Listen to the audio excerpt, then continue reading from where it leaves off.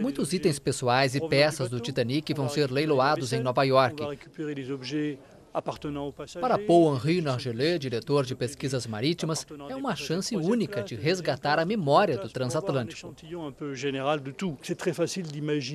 É muito fácil imaginar a vida das pessoas no navio naquele momento. Não diria que estamos vendo fantasmas. É um pouco exagerado, mas a impressão é forte de que os destroços são habitados e que algo acontece no seu interior. O naufrágio do Titanic aconteceu há mais de 100 anos e o leilão vai reunir cerca de 5 mil itens a partir de 11 de abril na Big Apple.